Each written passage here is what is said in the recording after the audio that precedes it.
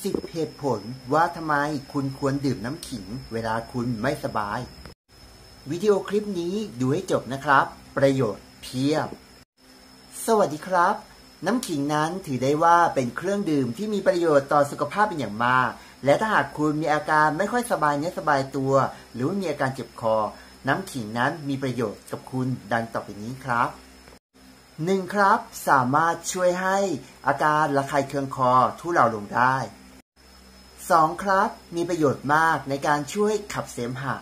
3. ครับ ช่วยขับลมทำให้คุณรู้สึกสบายท้องมากยิ่งขึ้น 4. ครับ มีประโยชน์มากทำให้คุณรู้สึกสบาย ผ่อนคลาย และทำให้นอนหลับได้ง่ายครับ 5. ครับ เป็นเครื่องดื่มที่ยอดเยี่ยม สามารถช่วยบรรเทาอาการมีเวียนศีรษะ หรือหน้ามืดตาลาย เนื่องจากอาการไม่สบาย 6. ครับ สามารถช่วยให้คุณมีอาการฟื้นตัวได้ง่ายมากยิ่งขึ้น 7. ครับ มีส่วนช่วยในการกำจัดเชื้อโรคและแบคทีเรีย 8. ครับ มีสรรพคุณอันยอดเยี่ยมในการช่วยบำรุงสายตา 9. ครับ มีส่วนช่วยในการบำรุงเลือด 10. ครับ ช่วยบรรเทาอาการเจ็บคอ และอาการอักเสบต่างๆ ในลำคอได้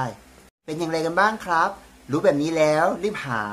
น้ำขิงมาดื่มโดยด่วนนะครับ ผมหวังว่าข้อมูลเหล่านี้จะเป็นประโยชน์กับทุกคน ถ้าหากคุณชอบคิดอย่างไร ก็อย่าลืมคอมเมนต์ด้านล่างคลิป แล้วก็กดแชร์ กดไลค์ กด Subscribe และกระดิ่งแจ้งเตือนนะครับสำหรับวิดีโอคลิปนี้ขอบคุณมากครับอ๋อเกือบลืมครับ เรามีช่องทางอื่นอยู่ด้านล่างนะครับ สามารถเข้าไปติดตามได้